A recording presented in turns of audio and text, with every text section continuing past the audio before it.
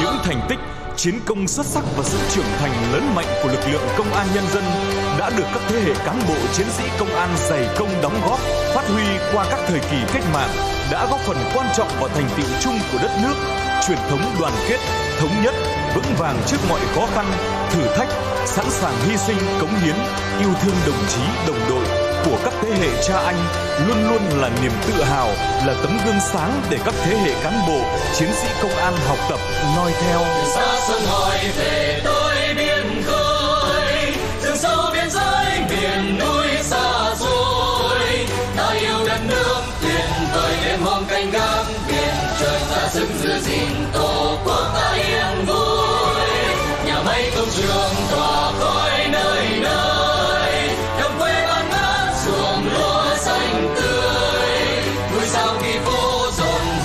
Đi chân bước, mình nhạc và mai tiếng còi rộn rã trong khi bao người